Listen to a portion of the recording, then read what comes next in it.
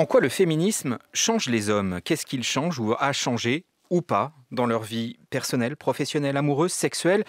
Un documentaire en ligne depuis quelques semaines leur donne longuement la parole. Il est intitulé Les mâles du siècle.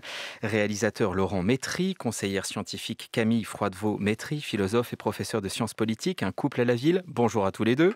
Bonjour. Bonjour. Et merci de venir dans les studios de France Inter. Une trentaine d'hommes interrogés dans ce documentaire. Entre leurs témoignages, il y a des femmes qui disent des textes de féministes célèbres. Et vous, qu'est-ce que le féminisme a changé pour vous? Une fois n'est pas coutume, nous privilégierons les témoignages d'hommes qui nous appelleront au 01 45 24 7000 et sur l'appli France Inter, rubrique Réagir. Euh, comment avez-vous sélectionné, interrogé ces trentaines de, cette trentaine d'hommes qui témoignent dans ce documentaire, Laurent Métry alors, sélectionner, oui, j'ai commencé par euh, des gens proches, tout simplement, et puis après, un peu par voisinage dans, mon quartier, tout simplement, et après, on a voulu s'ouvrir un peu et aller euh, en France, rencontrer des gens de toutes catégories, socio-professionnelles, de toutes origines, euh, pour avoir une, un instantané, une photographie, si je puis dire, de tous ces hommes euh, aujourd'hui en France. une particularité dans le dispositif, euh, il témoigne sans qu'aucune information écrite n'apparaisse à l'écran, du style Patrick, 53 ans, boulanger à Carmansac. pourquoi avez-vous fait ce choix-là? Ce choix, on, l'a fait parce qu'on ne voulait pas justement, euh, comment dire, orienter, si je puis dire, l'auditoire. Enfin, c'est-à-dire que quand on entend des, paroles sur ce, sujet-là, on est euh, forcément, comment dire, on peut être un peu dérangé par ça, de savoir si euh, cet homme est pilote de ligne ou, professeur. Vous dites ça parce qu'il y a un pilote de ligne, d'ailleurs. C'est ça, il y a un pilote de ligne. Euh, donc voilà, c'était pour simplement que ça ne soit pas un rempart ou qu'on puisse entendre ces paroles d'une façon complètement libre et, presque détachée de leur fonction euh, sociale notamment. Et la personnalité, ce qu'on comprend euh, des, intervenants, se construit au fil de, de, leur, témoignage? Camille Froidevométrie, je voudrais vous soumettre un premier extrait, celui de cet homme entre deux âges, tiraillé entre la volonté de bien faire et puis son éducation, les parents, les grands-parents le mec faisait certaines tâches, la femme faisait certaines tâches, que ça soit plus euh, faire vivre la famille, faire la tambouille, mettre le couvert, euh, des, conneries comme ça à l'époque, qui aujourd'hui n'ont plus lieu d'être. Mais je pense qu'à 53 ans, on est dans une tranche de vie, en fait, où c'est... Euh, on sait ce qu'il faut plus faire. Par contre, ça ferait une, cassure euh, trop, trop. On a vécu euh, ça, on a été éduqué là-dedans. Donc intellectuellement, on peut le comprendre. Après, c'est dur petit à petit. Voilà, il est, il est sincère, lui. Il dit, il dit, les, il dit les choses. Certains, on a l'impression, quelquefois, ils disent ce qu'on a envie d'entendre, mais lui, il est, il est, dans la sincérité. Vous attendiez un effet génération sur ce que le féminisme a fait aux hommes et comment il les a changés? Oui, c'était un, postulat, une hypothèse de départ. On s'était dit qu'on allait repérer une génération tournant, c'est-à-dire une génération à partir de laquelle le féminisme avait manifestement produit des effets. Et moi, très, très naïvement, je pensais que ce serait la génération des trentenaires aujourd'hui il a bien fallu euh, l'accepter. Euh, en réalité, le tournant, s'il a lieu, il est beaucoup plus récent que cela. On peut repérer en fait trois catégories. Il y a les hommes qui ont été socialisés, euh, disons tous ceux qui ont plus de 40 ans, qui ont été, disons, oui, socialisés dans les, dans, les, dans les rôles genrés un peu traditionnels, qui ont un peu du mal, même s'ils aperçoivent que les choses changent, à se remettre en question. Les trentenaires qui, eux, ont compris qu'il y avait quelque chose qui était en train de hmm. bouger et qui, s'engagent, qui sont, disons, qui, font preuve d'une relative bonne volonté, mais qui reconnaissent aussi, comme le dit l'un d'entre eux, qui sont encore dans l'effort. Et puis les plus jeunes, voilà, qui ont 20 hmm. ans et un peu hmm. en dessous, où là, manifestement, on voit qu'il y a des effets très concrets, de, notamment par exemple sur toute la réflexion autour de, de l'hétérosexualité, de comment les rapports sexuels et amoureux doivent évoluer, etc. On en parlera tout à l'heure. Le film fait, fait 2h20. Laurent Métry, j'imagine qu'il y a des heures de rush. Vous, qu'est-ce que vous retenez? Qu'est-ce qui vous a particulièrement marqué? Eh bien, euh, ce qui m'a marqué, c'est qu'en fait, euh, le féminisme change aussi les hommes. C'est-à-dire que euh, ce que j'ai pu remarquer, et, en bien, si je puis dire, c'est-à-dire que en bien, ça leur fait poser pas mal de questions. MeToo fait poser des questions, mmh. mais aussi leur rapport au travail, euh, enfin, sur pas mal de plans de, leur vie quotidienne. En fait, si on, aborde ces hommes, si je puis dire, avec ces questions du féminisme et ces batailles, comme on l'a fait pour ce film, euh, tout au long de l'histoire du féminisme, on s'aperçoit que, euh, voilà, ça, comment dire, ça a un impact sur leur, sur leur vie, sur leurs pensées, sur leurs leur faits et gestes quotidiens. Donc, c'est là où ça rejoint un peu ce que dit Camille Froide-Vométrie, ma voisine, c'est que on a affaire à une révolution, enfin, à une, le féminisme, c'est aussi un projet de société. Euh, témoignage de Roland euh, au standard de France Inter. Bonjour Roland, on va voir à quelle catégorie vous, vous appartenez en fonction de celle que vient de décrire Camille Froide-Vométrie. Nous vous écoutons, bonjour. Oui, bonjour, j'ai 57 ans. Bon, voilà, déjà une première indication. et alors, élevé dans quelle ambiance, si j'ose dire? Alors moi j'ai été élevé par mon père, donc c'est encore une situation difficile qui s'est passée comme ça. Et comment dire, par, le, par le choix de ma famille, j'ai pris, pris le choix de rester à la maison pour m'occuper de mes enfants. Et alors? Et alors, ben, j'ai rejoint le grand, la grande cohorte des invisibles. Et là maintenant, aujourd'hui, j'ai du mal à, entendre que les hommes ceci, les hommes cela. Ça, devient, on, est, j'ai l'impression d'être percuté, alors que franchement, euh, tout ce que je prône, c'est vraiment l'égalité et ça marche bien.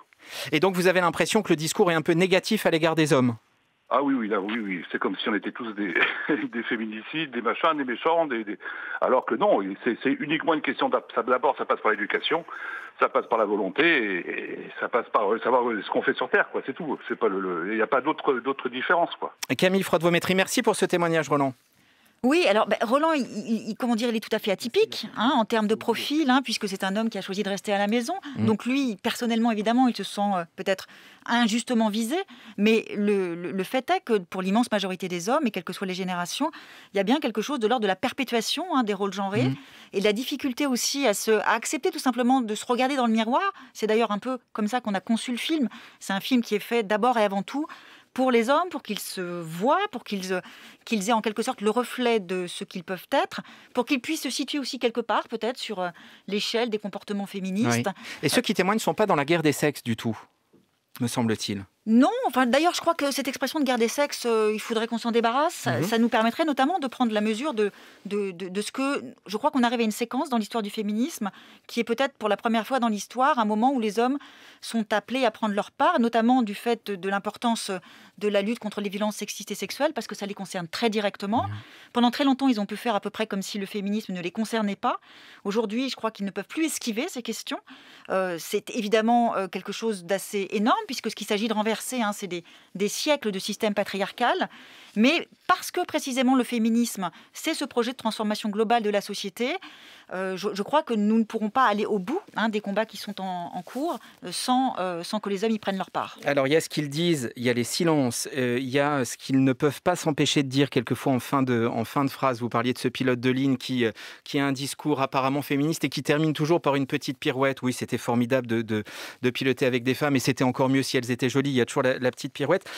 Et puis, moi, je trouve qu'il y a des passages où on se dit qu'à force de vouloir bien faire et peut-être de se sentir coupable, il y a des hommes qui en arrivent à dire des généralités pas très satisfaisantes. Voici un exemple à propos du, travail. Les femmes dans le milieu professionnel amènent justement quelque chose de plus euh, harmonieux, de plus rond, entre guillemets, tout, comme le ventre de la femme euh, est rond, entre guillemets, de plus, euh, voilà, les mecs, s'il n'y a que des mecs, il va y avoir des rapports de force, de coq à coq, de ci et là, un étalage qui va être dissous, un peu plus arrondi par l'arrivée des femmes. Alors pardon, mais il, dit, une bêtise, de mon point de vue, il dit une généralité. Euh, on travaille avec beaucoup de femmes ici à France Inter. Il y a des ambitieuses, des pas, des pas ambitieuses. Euh, il y a des gens agressifs ou pas agressifs chez les hommes comme chez les femmes. Enfin voilà, il y a tous les profils. Ce genre de généralité, qu'est-ce que vous en dites là quand vous, quand vous recevez ça Laurent Métry Alors justement, euh, nous, on n'a pas voulu faire un tri, disons, intelligent. C'est-à-dire que l'idée, c'est pas qu'on pas, on montre pas les hommes toujours sous leur meilleur angle, si je puis dire, parce que le but, c'est pas ça. C'est pas de dire, de sélectionner les meilleurs propos pour aller dans un sens, c'est de dire voilà,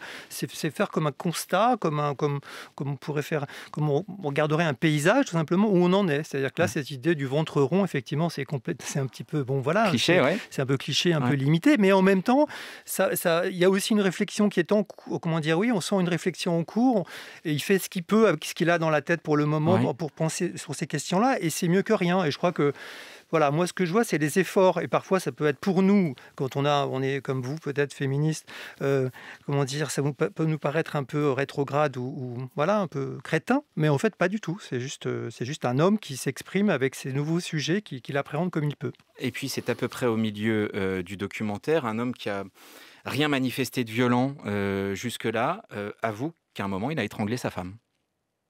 Oui, alors effectivement, c'est un moment fort, on va dire, hein, de ce film, euh, parce que c'est effectivement un homme qui a une conscience féministe assez, assez affirmée, euh, et puis qui fait cette, cette révélation avec beaucoup de, sincérité. c'est vrai, vous, vous remarquez tout à l'heure que, certains, on devine qu'ils, disons qu'ils enrobent un peu leurs propos. Il y en a, ils sont dans leur immense majorité vraiment sincères. Hein. Ils ont accepté. Euh, vous avez dit dans votre présentation que nous avions donné la parole. En réalité, nous sommes allés la leur prendre. Hein, parce qu'en fait, ce qu'on a fait en, les confrontant à toutes ces conquêtes féministes, c'est qu'on les a obligés à faire cet effort de, réflexion et de, remise en question sur ces sujets. Et, on voit parfois que c'est compliqué. Et là, il y a cette révélation qui, qui, survient et qui permet de poser un des sujets euh, centraux aujourd'hui, qui est cette question des, violences conjugales notamment. Euh, et ça donne en fait aussi, parce que voilà, hein, on en parle suffisamment euh, régulièrement et il faut continuer de le faire. La violence conjugale existe, il y a des féminicides par, par centaines chaque année en France. Et donc, il y a des hommes qui sont violents et il y a des hommes qui sont des agresseurs. Et il se trouve qu'on en a croisé un. Et alors, il y, a, un domaine où je trouve la, la parole est particulièrement libre, c'est la sexualité. Et mm, en regardant euh, ce documentaire, je me suis dit qu'un des grands acquis du féminisme était peut-être d'avoir amené les hommes à s'intéresser au plaisir féminin. Là encore, quelques extraits à ce sujet. Il y en a plusieurs. D'abord, ce garçon qui se dit qu'on a tout à gagner à mieux connaître les ressorts du plaisir féminin et masculin. Faire jouir une femme, c'est un parcours du combattant au début. Parce que tu sais pas. Elle non plus. Donc, euh, ça va faire des générations, de, tu vois, des générations qui vont jouer ensemble, quoi. C'est génial.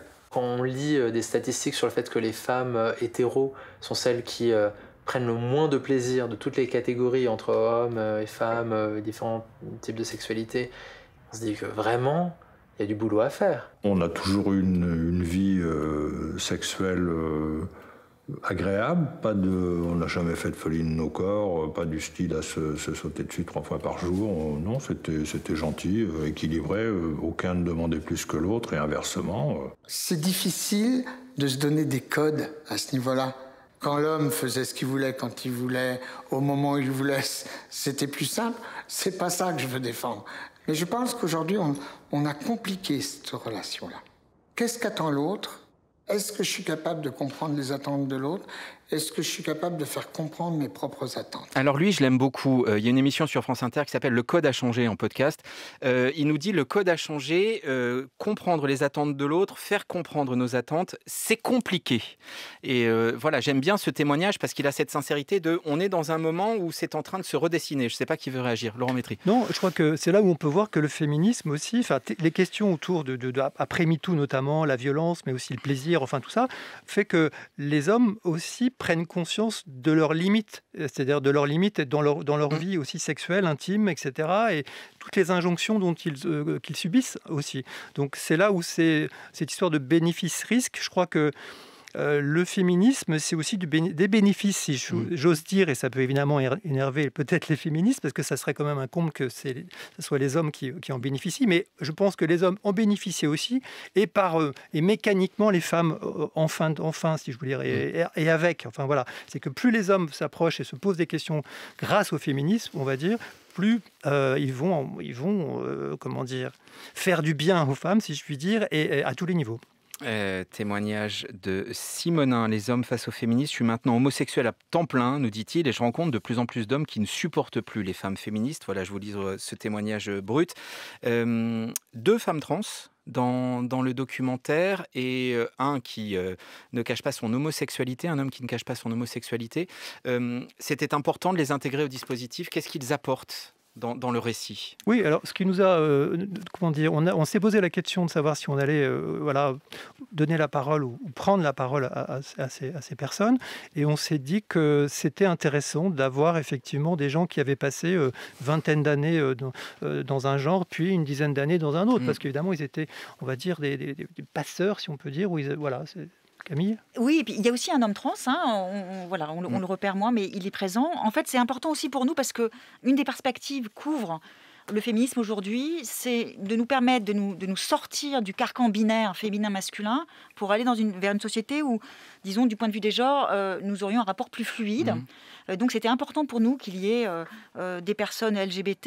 Et effectivement, ces, personnes-là, c'est aussi celles qui nous permettent de prendre la mesure, euh, disons, du poids de la masculinité toxique, de ce que, les injonctions à un certain nombre de, euh, performances masculines peuvent faire, et qu'il y a aussi un réel bénéfice à, s'affranchir de, ces carcans et, à se penser soi-même dans sa propre existence à travers cette idée d'une forme de fluidité au besoin en faisant une, transition. Alors, les témoignages des hommes sont entrecoupés euh, de paroles dites par des comédiennes euh, qui sont euh, extraits de textes de féministes célèbres. Dans le dispositif, elles sont entre le gros plan et le plan américain. On voit les épaules. On peut penser qu'elles sont nues. Pourquoi vous avez fait ce choix-là?